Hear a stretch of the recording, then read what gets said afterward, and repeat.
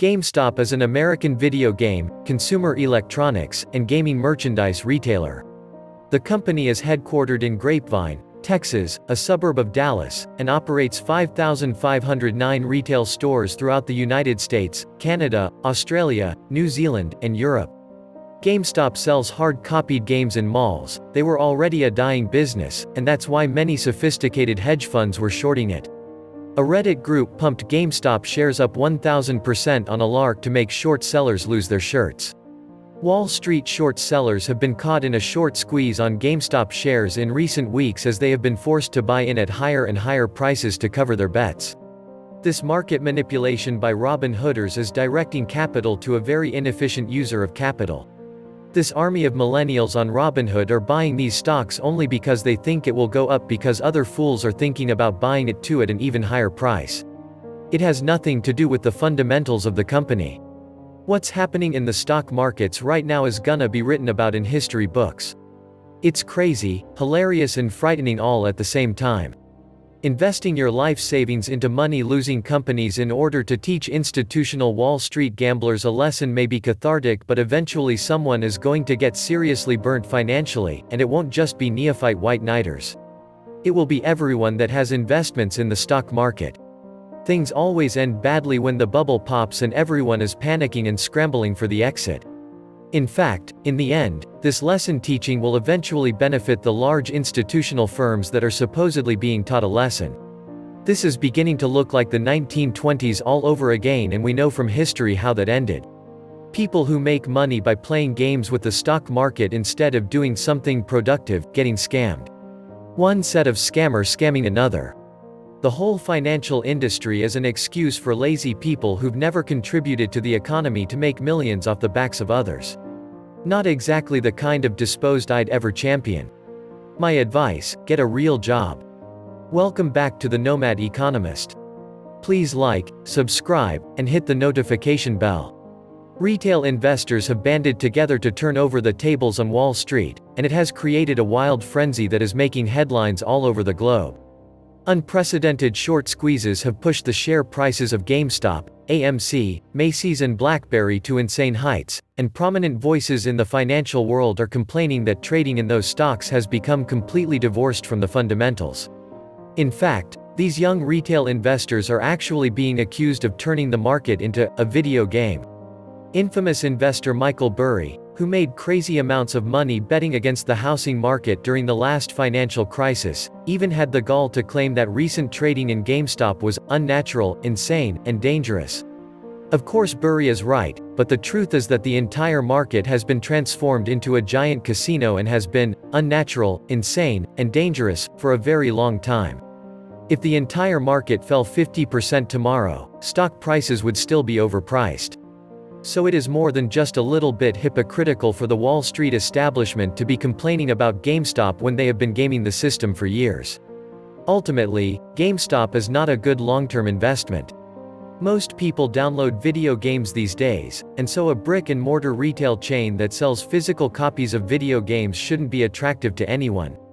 GameStop lost money last year, and they will lose money again this year. But a group on Reddit known as Wall Street Bets noticed that some big hedge funds had taken ridiculously large short positions against GameStop, and they sensed an opportunity. They realized that if they all started to buy GameStop all at once, it would likely create a short squeeze of epic proportions. And that is precisely what has happened. A year ago, a single share of GameStop was going for about $4. At the beginning of the month, GameStop was sitting at $17.25. On Wednesday, it closed at $347.51. In addition to making huge profits, the investors on Wall Street Bets also wanted to get revenge on the big hedge funds for all the evil things they have done in the past. Every great story needs a great enemy, and in this case the great enemy is a hedge fund called Melvin Capital. Melvin Capital, the $12.5 billion hedge fund founded by Gabriel Plotkin, was one of the main targets of the Reddit campaign, after an SEC filing revealed that the fund had a large short position in GameStop. By the end of the week, or even the end of the day, Plotkin is going to have less than a college student 50k in debt who works part-time at Starbucks, one Reddit user wrote on Wednesday morning. Nobody knows for sure how much money Melvin Capital has lost, but it appears to be in the billions. CNBC could not confirm the amount of losses Melvin Capital took on the short position. Citadel and Point72 have infused close to $3 billion into Gabe Plotkin's hedge fund to shore up its finances. On Wednesday's Squawk Box, Sorkin said Plotkin told him that speculation about a bankruptcy filing is false. Melvin Capital has supposedly closed all of their short positions in GameStop now, but not everyone is buying that claim. In any event, the crowd on Wall Street bets intends to continue to drive up the prices of GameStop, AMC, Macy's and BlackBerry for the foreseeable future. Eventually, each of those mini bubbles will collapse, but for now the big short sellers are squealing in pain. Needless to say, the large hedge funds have been reaching out to their friends for help, and the SEC just released a statement which indicated that they are watching developments closely. We are aware of and actively monitoring the ongoing market volatility in the options and equities markets and, consistent with our mission to protect investors and maintain fair, orderly, and efficient markets, we are working with our fellow regulators to assess the situation and review the activities of regulated entities, financial intermediaries, and other market participants. And White House Press Secretary Jen Psaki told reporters just a few hours ago that the White House is monitoring the situation. But what is there to monitor? All is fair in love and investing, and the retail investors of Wall Street bets caught some big hedge funds with their pants down and punished them for it. After everything that big hedge funds have gotten away with over the years, many would argue that a little bit of revenge was definitely in order. But Wall Street has never seen anything like this before. Retail investors are supposed to be small fish that get eaten alive by the bigger fish, but now technology has changed the rules of the game. The way people trade stocks has been appended by the rise of no-fee apps like Robinhood. That technology has democratized investing, giving armchair investors far removed from traditional banks free access to sophisticated trading instruments, like options. You could pay an analyst to tell you what stocks to buy, or you could create a Reddit account and follow forums like Wall Street Bets. Millions of young people are opting for the latter, which is partly why the sudden surges in GameStop and AMC have caught Wall Street veterans by surprise. Nobody should shed a tear for the short sellers. They have made obscene amounts of money over the years by manipulating the markets and by preying on weak companies.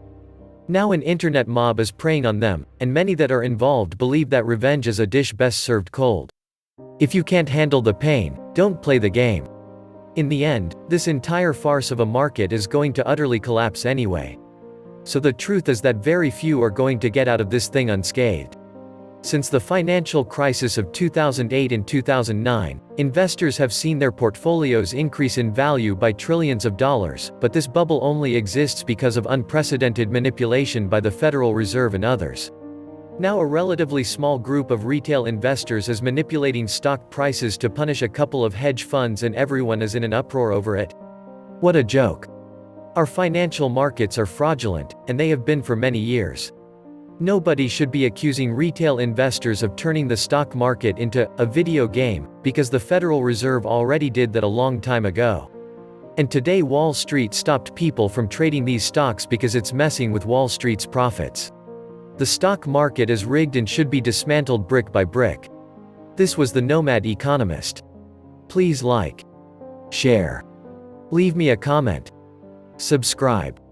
And please take some time to subscribe to my backup channels, I do upload videos there too. You'll find the links in the description box. You will also find a PayPal link if you want to make a donation. Thank you wholeheartedly to all those of you who have already donated. And thanks for your valuable feedback. Stay safe and healthy friends.